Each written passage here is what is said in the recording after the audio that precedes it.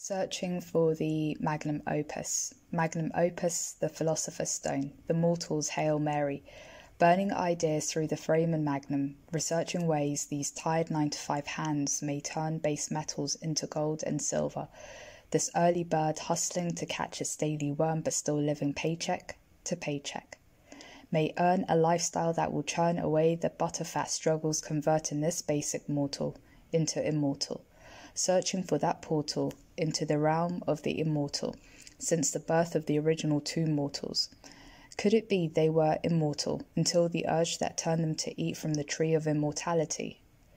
Fruits they ate turned fig tree leaves to cover up.